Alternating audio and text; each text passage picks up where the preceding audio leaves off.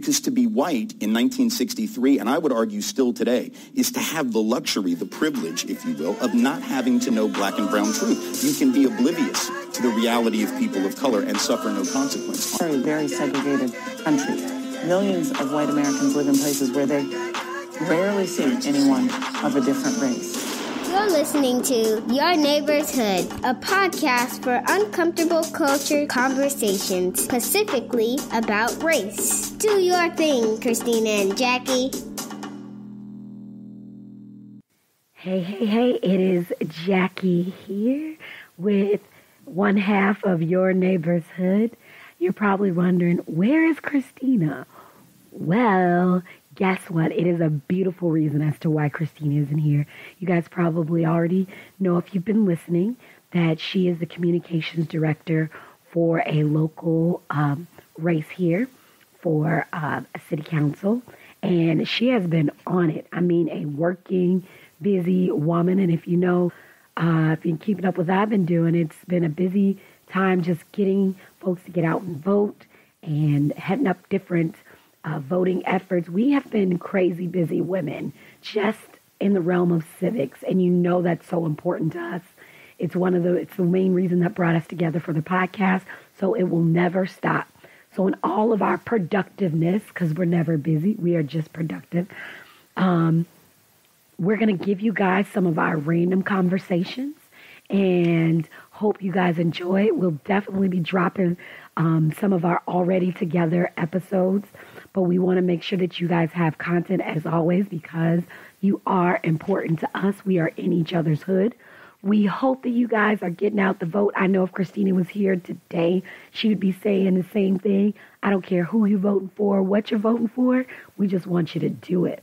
So I'm hoping you guys are able to enjoy this random conversation about feminism and activism and how do white women navigate listening to black activists and how do we create more conversation. It was a really nice random conversation Christine and I had um, a couple months back, but it is here for you. Now, if you find yourself on Facebook or Instagram today, I'm going to do an ask. I'm going to ask that you guys, if you're on your neighbor's hood or at your neighbor's hood on Instagram, drop Christina a line, cheer her on as she does the good work with her candidate today. If you don't drop us a line at your neighbor's hood, go to her on Instagram. It's at C Kimbrough, C K I M B R O U G H. C Kimbrough, and or hit her up on Facebook. Just give her a little whoop whoop, girl. You got it today. Yeah, I think she'd enjoy that from us, guys. She's our neighbor. As always, we hope that everything is good in your hood and that you drop us a line. We're always wanting to hear from you. We thank you guys for being staying tuned and being a part of our art of our adventure and our neighborhood. And I hope you enjoy.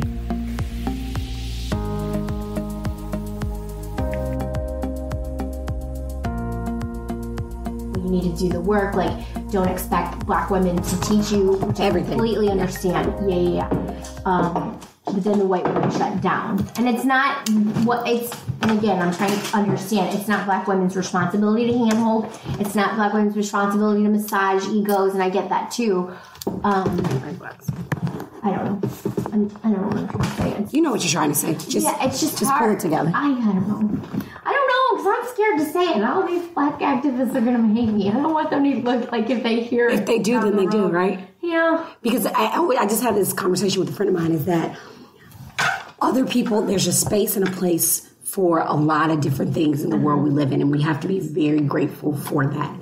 But when the, the best light that we can live in is in our own light, mm-hmm. that's the best one that we can live in. So this is we are in the What my business. light's wrong though? No, then you say, you know what, my light's wrong. yeah. Because I think for okay, I'll just say it. I just I read that stuff and I'm like, I can't do this by myself. Like I don't know how I'm supposed to unpack white supremacy unless I understand and hear from the voices that have been suppressed because I will never have been. I will never. Uh, I, I just can't. Like I can't understand it. So when googling things and trying to unpack white supremacy, learning it, the impact of it from like Google and stuff. Like that's the only place I know to go. And if if these the black women don't want to engage with me and teach, I'm not asking them to teach me, but like to a certain extent, if they just want to shut down the conversation, I don't know how much I don't know how much further I can go. And I also don't know what kind of relationships I have. Right. Does that make sense? It makes perfect Because like I'm following these these women on Instagram, I'm like, if we were friends, they don't want to talk about this stuff. So like, what am I? Because I'm exhausting, or I'm learning, you know. So then I'm like, I don't really know. Like, how would you move forward with a relation? You know what I mean? yeah. Where do you go when you? I get, I get what you're saying. Yeah. I So I and I'm just saying I'm holding space for, and I can't even imagine if you have a huge following, the amount of ignorance that comes through with white people. I'm not discounting that, and the amount of exhaustion. In fact, one activist I follow, I think it's genius, said if you want to ask me a question, pay me. So if you slide into her DMs, she doesn't answer unless you pay her like five dollars or something. I was like, and she's got like a following of fifty thousand people, so good for her. Yeah. Yeah, yeah, yeah. And she does an entire newsletter. It's that Shishi Rose that I was telling you about. She's Mm-hmm. uh, in New York. She's really cool. I mean, she's triggers me all the time, you know, but it's good. Um, and so she does a newsletter for like ten dollars, and I haven't subscribed yet because I just don't have money. You know what I mean? Yeah, in yeah. that place, but I want to because she gives like work and like and it's mostly white women that are doing it. good. Yeah, it's really good. But but the I want to what I was trying to say to you. You hit on something. You hit on something. I lost a thought. I was listening. I lost a thought, but it. I'm just rambling because I No, no, you're not rambling. Figure it out. But but it really is true because I think there's two sides to what um, women of color. Um, of how they feel about, or I can just speak for how I feel hearing what you say, and then how I feel as a person. It's it's that no, I don't want to be Bruce chasing his tail. Um, I don't want to be your Wikipedia. I don't want to be your blah blah blah blah blah. I get all of that, but then on the same token, I don't want you coming at me like you know it all. Right. So there's Right. this So fine there's line of, of, which is why I think the work has to be done in tandem. Right. It meaning I can you you have to do what you're doing. Meaning keep reading, keep educating yourself, keep doing those things, right? So that we can come together and even have these conversations. Right. But don't ever come off as if you No. you just know, which Right. again, which you wouldn't do. But how could we even have those conversations if anytime you're met, anytime you come and say, well, you know, I, I really don't understand this. Right. I say, go do the work. When part of that you. work, when part of that work is you going out and doing that and then coming back and let's really talk about it. Yeah. So, cause so you can get that, um, not even experience, but that perspective. Yeah. So you can see from my paradigm what you're trying to understand. Or I can give you an understanding because even when I talk to you about stuff, it's like it's only coming from my view and my world and my experience as being a woman of color Mm-hmm. in the United States of America. Like, like that's it. That's Jackie Jackson Glass. That's my One point of view. That's one, but there are so many. Yeah. There's Well, so many. I think the reason it's it's I'm, I want you to listen to the 30 minute podcast from this girl, and I, I still want to reach out to her. Her name's Rachel Cargle. Um, she was on the Pantsuit Nation podcast. Um, you know Pantsuit Nation, there's No. a Facebook group. So when Donald Trump was getting elected, they made a Facebook group for women that supported Hillary. Hillary. It grew to like five million women. Yeah. And I'm still in it. Yeah. And so now they, and so then they turned it into a podcast. Um, It's, so they're a resistance podcast, but a lot of their stuff's great, but you know, it's, it's giving you the paradigm that they're coming from is resist this current administration. But Rachel was just on there talking about the Instagram fight that I was trying to show you the other day about Yeah. the women going back and forth. So what I'm, the point that I'm trying to get at is like I'm seeing a lot of what I'm seeing on Instagram. Like I'm trying to listen to these activist leader women, but then it's impacting my relationship with you. You might not even know it because I'm filtering everything I say, even though I'm supposed to be doing this. Does that make sense? It makes sense. And I'm like, don't exhaust your friend. Don't ask her too many stupid questions. Don't Yeah, but we're, we're in the business of doing that. Exactly. So- So, I know. So it doesn't, And I'm not I- saying it doesn't apply to me, but I have to. You got to do it. Yeah. And, and part of that is I also have to say, be able to say and be an example and say that's you, it's too much. Right. And that's what I was trying to say. Like, I think we have a different model. Does that make sense? Yeah. Because I haven't seen that anywhere. I've seen, and this is what I'm, because I think what we're also trying to do is is better communication between the races, right? Between races, right? Mm-hmm. And what I'm seeing a breakdown is in white women saying like, "Well, I can't do anything right. I don't know what to say, mm. and I don't really know what to do. So where do we go from here?" And then the black activists are like, "Well, I don't give a shit. You just got to do the work." Figure it out. And and then you're like left with like, "Oh my god, what do I?" Like- and again, not cradling white fragile. I, I get all the things, but I'm mm-hmm. I'm not making a case for white women. I just think it's No, make a case for white women because you I need to think make a what- case. Well, what I think ha- I see happening is just fracturing relationships. That's Yeah. all. I'm not saying their work is wrong because I don't. I will never it's not. be a black activist. It's not wrong. It's- right, and I think there's a space for it. And there are women that need to be told do the work. There are women that will always be defensive and never do the work. There's categories, right, of women. Mm-hmm. Um, and then there's women like me who like get stuck in the middle. And I think of my friends who are like. Oh my God! This message is so confusing. You know what I mean? Like I don't really know. Mm-hmm. and I don't and I don't have to look. It's so confusing, and so I'll just leave it. Yeah, exactly.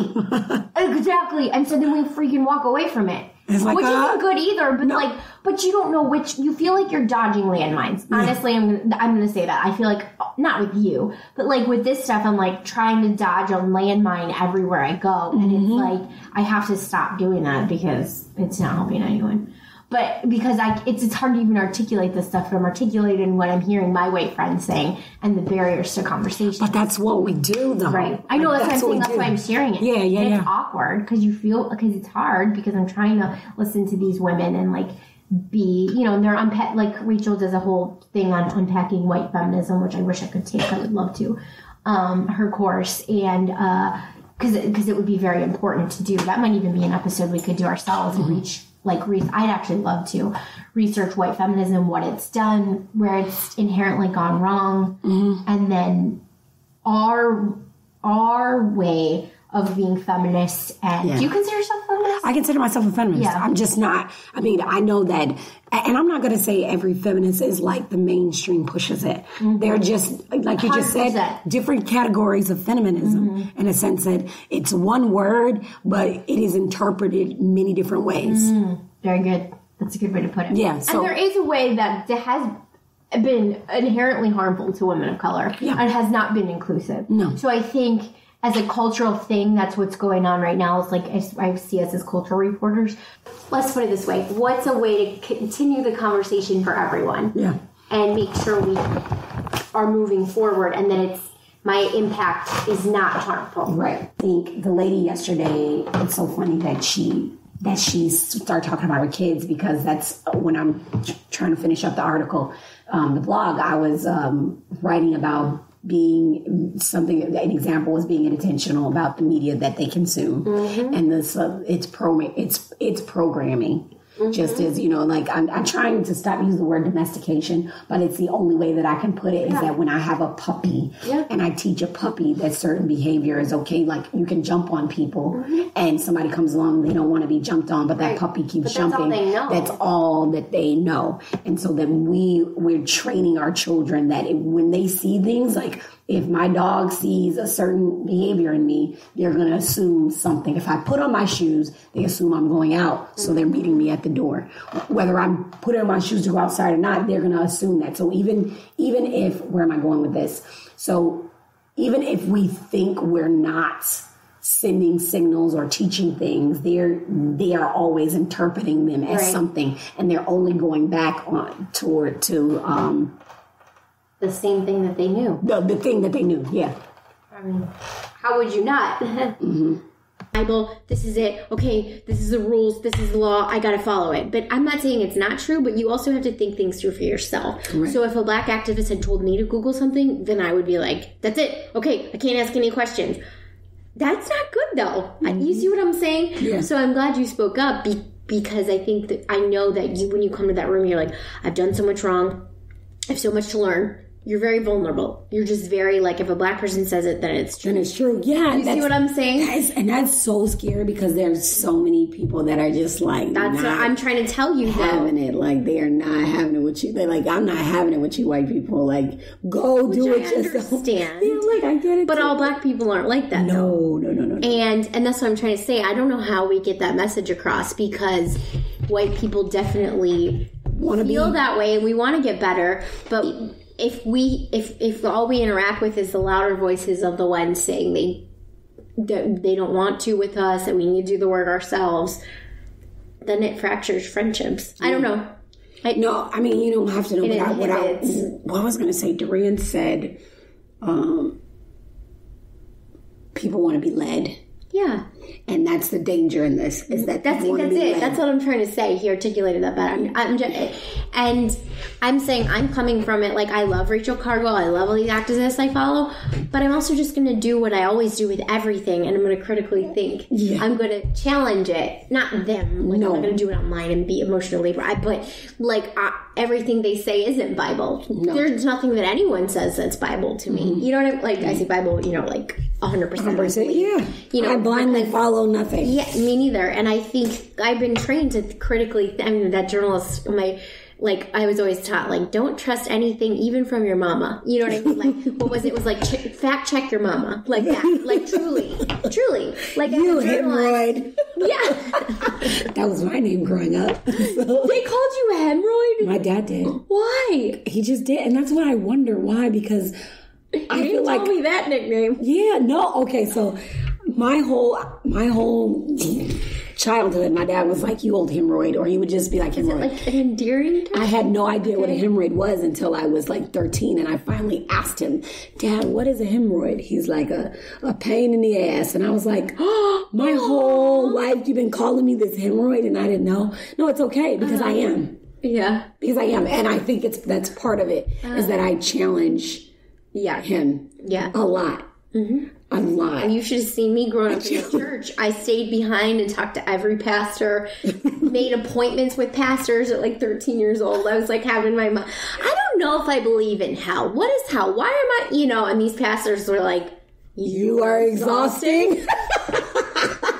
and I was like, well, like I've just always been. That is, that's why I, I know that I went to become a journalist because I'm just that's how I think. Yeah. I never just hear things and I'm like, I, I don't challenge people to be annoying. I don't challenge for this. Like I'm not trying to get a rise out of people. I'm challenging because it's when it's valid. when it's Does that not. make And I think when we're talking when about my this, intuition says, you know what, this right. Mm-hmm. just doesn't make sense. Like you said with that lady, like, okay, I hear you, and maybe that's her response is very valid, and if that's what she feels that she needs to do, Mm-hmm. but not everyone feels that way. no, and I respect you coming from a place and being able to have the And conversation. I, absolutely, and I honor her exhaustion. I honor the uh, emotional labor, and I, I'm not saying I understand it because I never can.